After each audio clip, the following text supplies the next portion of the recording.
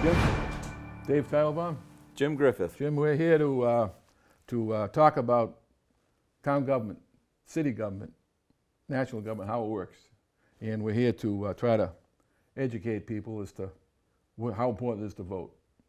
And we, uh, we want to tell people not just how our government works, but also what it took to create what we call our imperfect democracy. It's already 200, my math says 248 years ago, Jim.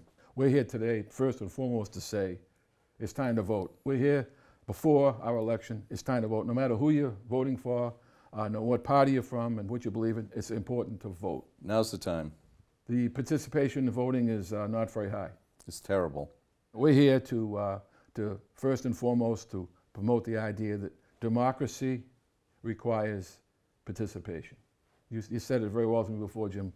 Why do we got to? What's it? What's it take to be part of a democracy? Mm-hmm. What do you mean? Voting participation in the range of 50 to 65 percent for presidential elections, which are, we have one coming up. In Massachusetts, our midterm elections are in the range of 45 to 50 percent. And town elections, we have had a town election in Dartmouth where the voter turnout was 6.7 percent. Hmm. And I believe that that is not what the founding fathers intended. we are not doing a great job at participating in our democracy.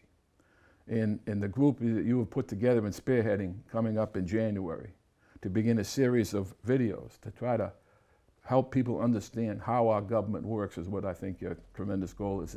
It's, it's very exciting. And it won't be a couple of old guys like us sitting around. We're going to bring a lot of uh, teachers and young students in because we want everyone to understand that it's a goal that, that it requires participation at all levels. Uh, and like you said, even with all the visibility of this election, we may have 60, 65 percent, and we feel like every person is going to be voting. That even that's not the case in this kind of election, is it, Jim?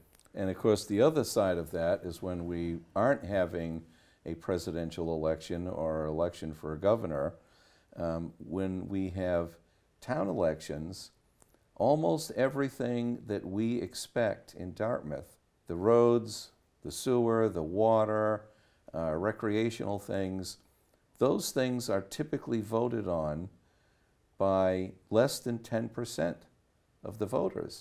And they matter to us every single day. That is exactly what the founding fathers meant when they said, if you can hold it, we need to participate. And if we keep on the track we're on now, with this lack of participation, understanding, who knows where we can go. It's not about partisan, it's not about politics, it's about participation. Be informed and make a decision. What else are we going to talk about, Jim? Well, one of the things that uh, we do have very well designed and executed elections. In the town of Dartmouth, the town clerk has a slew of people, never enough, and voting machines at nine precincts. Um, I can tell you because I've looked at the process that um, our voting on paper ballots is as secure as it can be, is very carefully monitored. There are rules and regulations set out by the Massachusetts Secretary of State as to what gets reported and how it gets reported. And uh, the, the voting process here, and I think everywhere, is extremely secure, and we should take full advantage of it. Your vote will count, but only if you vote. Well, we just finished up a town meeting, and the participation there was excellent. A lot of good conversation, a lot of decisions, votes were made, and those people are active, and, um, and that's another uh, way we're going to try to educate people as how that works. There's many people unfamiliar how town meeting works and how town government works, and uh, that's going to be one of our goals coming in the January. So you think we'll start in January? We'll end up maybe uh, with different kinds of uh, participants and speakers and um, and, and, and uh, individuals who want to get interested to try to help Uh, out. It, it is our plan to have a full range of issues that are before the town, issues that are about how government works here and in the state and in the nation.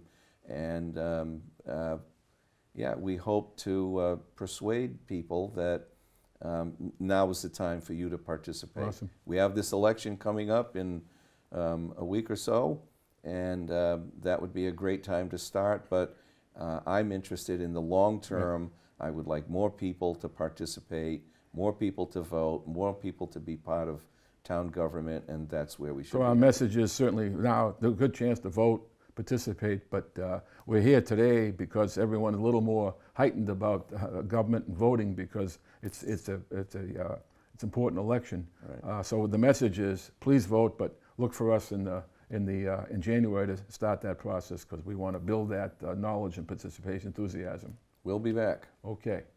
It's a pleasure. Thank you. Thank you, Jim. All right, thanks a Take care. lot.